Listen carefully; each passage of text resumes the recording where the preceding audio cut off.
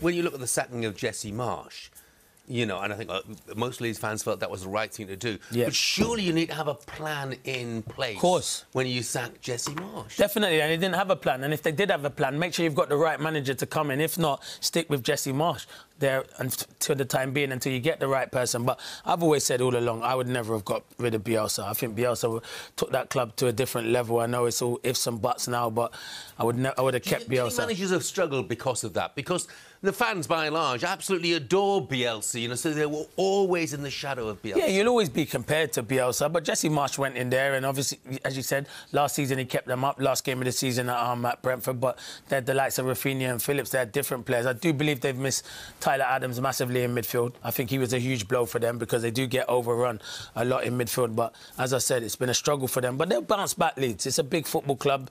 The fans are disappointed, but it's going to be hard. It will be hard in the Championship next season. It will be hard because there's a lot of good teams going down in and that they will be a side that everyone will want to Want to beat yeah. They're a big, big club. There's no 100%. doubt uh, about that.